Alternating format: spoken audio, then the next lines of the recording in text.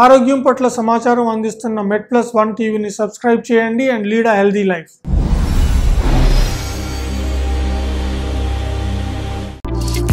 Hepatitis రాకుండా ఎటువంటి వ్యాక్సిన్లు అందుబాటులో ఉన్నాయి? హెపటైటిస్ అనేది వేరియస్ రీజన్స్ వల్ల వస్తుంది.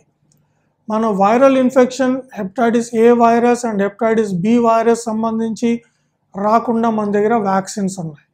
But hepatitis C virus and hepatitis E వైరస్కి వ్యాక్సిన్స్ లేవు అలాగే మనం ఆల్కహాల్కి వ్యాక్సిన్స్ ఏమీ లేవు అలాగే డ్రగ్స్ ద్వారా వచ్చే హెపటైటిస్కి వ్యాక్సిన్స్ ఏమీ లేవు so we have vaccines only for hepatitis B virus and hepatitis A virus hepatitis B virus అనేది సబ్ యూనిట్ వ్యాక్సిన్స్ అంటారు హెపటైటిస్ బి వైరస్కి చాలా సబ్ యూనిట్స్ ఉంటాయి। సర్ఫేస్ యాంటీజెన్ అని ఉంటుంది హెప్టైటిస్ ఈ యాంటీజెన్ అని ఉంటుంది. సో ఈ surface antigens sub unit vaccines ఉంటాయి. దీస్ ఆర్ ఇన్యాక్టివేటెడ్ వ్యాక్సిన్స్ ఇది వ్యాక్సిన్స్ వేసుకునే ద్వారా మనకి బాడీకి మంచి ఇమ్యూనిటీ వస్తుంది అండ్ మనకి వైరస్ రాకుండా ప్రివెన్షన్ ఉంటుంది. హెపటైటిస్ ఏ వైరస్ అనేది అక్యూట్ హెప్టైటిస్ చేస్తుంది.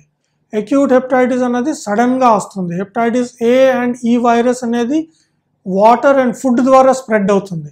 సో మనం జంక్ ఫుడ్స్ తినే ద్వారా yeah road side foods and unhygienic foods తినే ద్వారా ఈ hepatitis A and E virus అనేది ట్రాన్స్మిట్ అవుతుంది. So mostly hepatitis A and E virus అనేది ఈజ్ అక్యూట్ ఇన్ఫెక్షన్ సో దాని ద్వారా మనకి సడన్గా ఫీవర్ రావడం నాసియా వామిటింగ్ రావడం పచ్చికామలు రావడం ఇలాగ జరుగుతుంది.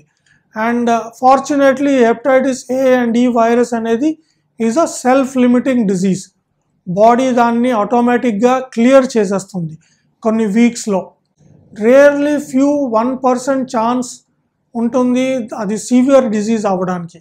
ఆ severe డిజీజ్కి what we call as acute fulminant liver liver failure. So సడన్గా లివర్ సెల్స్ అన్నీ చనిపోయే ద్వారా అది చాలా సివియర్ లివర్ డిజీజ్ వచ్చి అది అక్యూట్ లివర్ ఫెయిలియర్కి గుర్తిస్తుంది. ఆ టైంలో పేషెంట్ తెలివి తప్పిపోతుంది బ్లీడింగ్ టెండెన్సీ ఉంటుంది అండ్ అది లైఫ్ థ్రెటనింగ్ డిజీజ్ అయిపోతుంది. అలా సిచ్యువేషన్ కానీ వస్తే మనకి లివర్ ట్రాన్స్ప్లాంట్ తప్ప ఇంక వేరే వైద్యం ఏమీ పనిచేయదు సో ఆ హెప్టైటిస్ ఏ వైరస్ రాకుండా ప్రివెంట్ చేసుకోవడం బెటర్ వ్యాక్సిన్ తీసుకోవడం. Virus hepatitis B virus and C virus mostly they go to chronic infection. So అది బాడీలో ఉండిపోతుంది.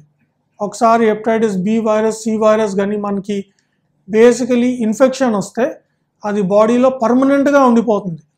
హెప్టైటిస్ బి వైరస్ అనేది డిఎన్ఏ వైరస్.